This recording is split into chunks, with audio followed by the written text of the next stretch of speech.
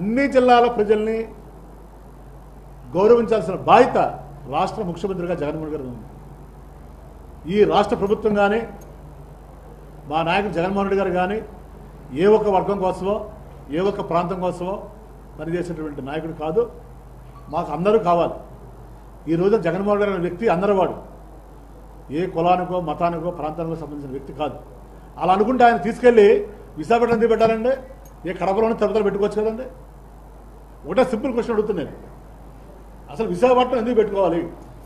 జగన్మోహన్ రెడ్డి గారు నిజంగా స్వార్థం ఉంటే నిజంగా సంకు సంకుచిత మనస్తత్వం ఉంటే ఆయన రాయలసీమ చెందిన వ్యక్తి కడప జిల్లా చెందిన వ్యక్తి ఏ కడపలోనో తిరుపతిలోనో పెట్టుకుంటే అక్కడ ఆయన ఇది ఏముంటుంది కదా ఆయనకి?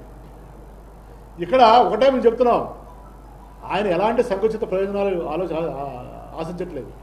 ఎలాంటి రాజకీయ ప్రయోజనాలు ఆశించట్లేదు. ఒకటే ఆయన ఉద్దేశం ఏంటంటే ఆయనతో మాట్లాడి మాకు చెప్పింది మళ్ళీ పాతికేళ్ళ తర్వాత ముప్పై ఏళ్ళ తర్వాత మళ్ళీ వేరపాటువాద ఉద్యమాలు రాకూడదు ప్రత్యేక ఉత్తరాంధ్ర ఉద్యమం రాకూడదు ప్రత్యేక రాయలసీమ ఉద్యమం రాకూడదు.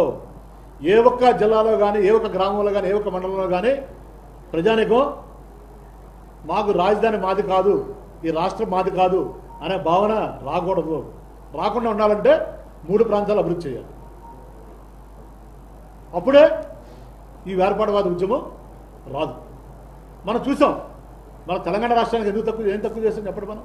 హైదరాబాద్ సిటీకి ఏం తక్కువ చేశారండి? అందరూ కలిసి హైదరాబాద్ని డెవలప్ చేశారు.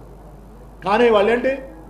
ఒక తెలంగాణ మాకు ఆత్మగౌరవం మమ్మల్ని పరిపాలించుకుంటాం అనే ఒక వాళ్ళు ప్రత్యేక రాష్ట్రం తెచ్చుకున్నారు.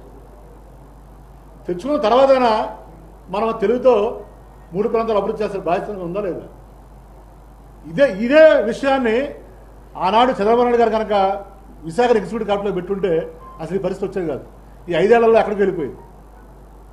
ఈ రోజున రాజకీయాలు పక్కన పెట్టిన ఒక సామాన్య మానవుడని అడిగిన చెప్తారు. ఒక బెంగళూరుతో కానీ ఒక హైదరాబాద్తో కానీ ఒక చెన్నైతో కానీ పోటీ పడగల సత్తా అంటే ఇమీడియట్గా కాపోవచ్చు. రాబోయే రోజుల్లో పోటీ పడగల సత్తా ఒక విశాఖ నగరానికి ఉందా అమరావతికి ఉందా? చెప్పండి. ఎవరైనా సరే దానికేదో సబ్బమరి గారు ఇలా చంద్రబాబు నాయుడు గారు లేదా ట్రంప్ ఇంకోలా అవసరం లేదు. ఒక సామాన్య మానవుడు చెప్తాడు విశాఖ నగరం ఆల్రెడీ వేగంగా అభివృద్ధి చెందుతున్న నగరం. విశాఖలో అన్ని మౌలిక వస్తువులు ఉన్నాయి. క్యాపిటల్ ఎగ్జిక్యూటివ్ క్యాపిటల్ పెడితే ఇంకా అభివృద్ధి చెందుద్ది.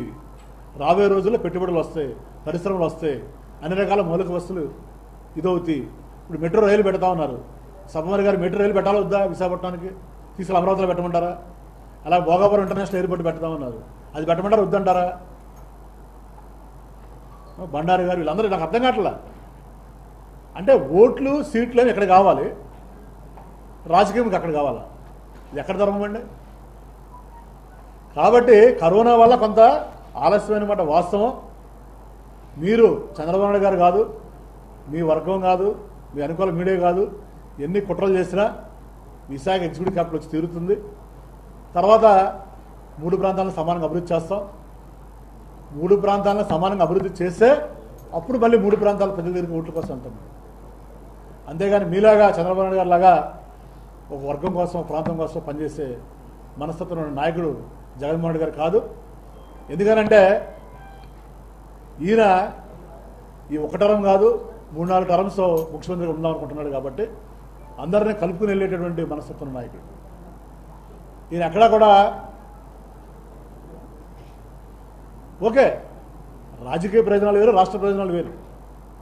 రాజకీయ ప్రయోజనాల కోసం మనం ఫైట్ చేస్తున్నాం. తప్పులేదు. మీ ప్రయోజనాల కోసం మీరు ఫైట్ చేస్తారు మా ప్రయోజనాల కోసం మేము ఫైట్ చేస్తాం కానీ మీరు రాష్ట్ర ప్రయోజనాలని రాజకీయ ప్రయోజనాలు కూడా ముడిపెట్టి రాష్ట్ర ప్రజలను కూడా తాకట్టు పెడతామంటే మాత్రం చూస్తూ ఊరుకోం. ఎందుకంటే ప్రజలు మా మీద ఒక నమ్మకంతో విశ్వాసంతో మాకు అధికారం అప్పచెప్పారు. మీరు ఆల్రెడీ తప్పు చేశారు కాబట్టి కదండి మాకు అధికారం వచ్చింది. మీరు అమరావతి అమరావతిని గగ్గోలు పెడుతున్నారు కదా. మరి అదే అమరావతిలో లోకేష్ గారు ఎందుకు వచ్చారండి చంద్రబాబు గారు ఒకసారి ఆత్మహత్య చేసుకోండి.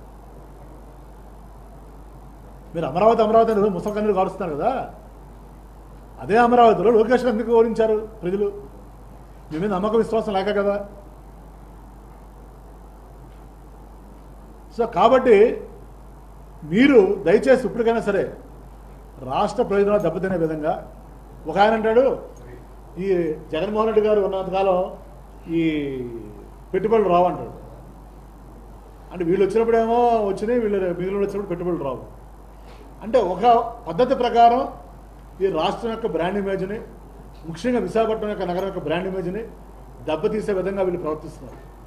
ఎందుకంటే ఒక కక్ష ఈ రాష్ట్ర ప్రజల మీద విశాఖ ప్రజల మీద వీళ్ళేంటో ఒక కక్ష కక్ష కట్టి మమ్మల్ని గెలిపించకుండా జగన్మోహన్ గారు గెలిపించారు. మమ్మల్ని ముఖ్యమంత్రి చేయకుండా ఆయన ముఖ్యమంత్రి చేశారు. కాబట్టి మీరు అనుభవించండి.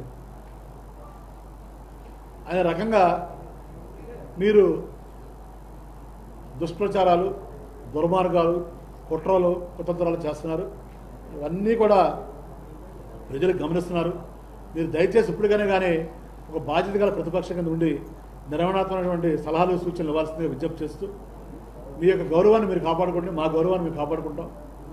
తప్పనిసరిగా మీ పరిధిలో మీరు పనిచేయండి మా పరిధిలో మేము పనిచేస్తాం. ఇంకా ఇప్పటికైనా కానీ మనందరం కూడా కలిసి ఈ రాష్ట్ర అభివృద్ధికి మరి మీరు సహకరించాలని బాధ్యతలు ప్రతిపక్షంగా విజ్ఞప్తి చేస్తూ ఇప్పటికైనా మీకు మంచి బుద్ధిని ఆ భగవంతుడు ప్రసాదించాలని కోరుకుంటూ సెలవు